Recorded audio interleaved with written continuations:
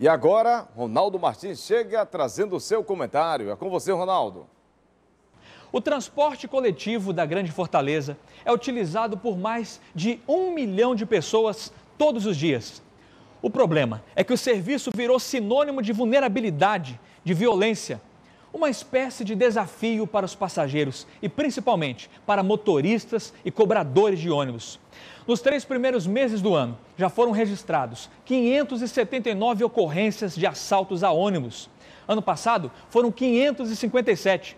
O aumento foi de 394%, de acordo com o Cindy Ônibus, que representa os donos das empresas.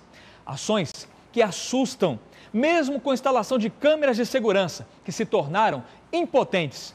Os empresários têm de tomar medidas alternativas e eficientes a curto prazo, mas a realidade de um trimestre para o outro põe em xeque também a logística policial para combater esse tipo de crime.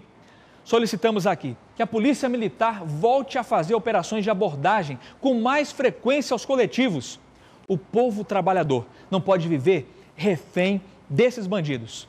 O nosso abraço amigo hoje vai para J. Costa, de Taitinga, todos os moradores de Taitinga, para Rejânia Souza, da Jurema, e para Marcos Pontes, de Maranguape, e a todos aí de Maranguape que assistem essa programação.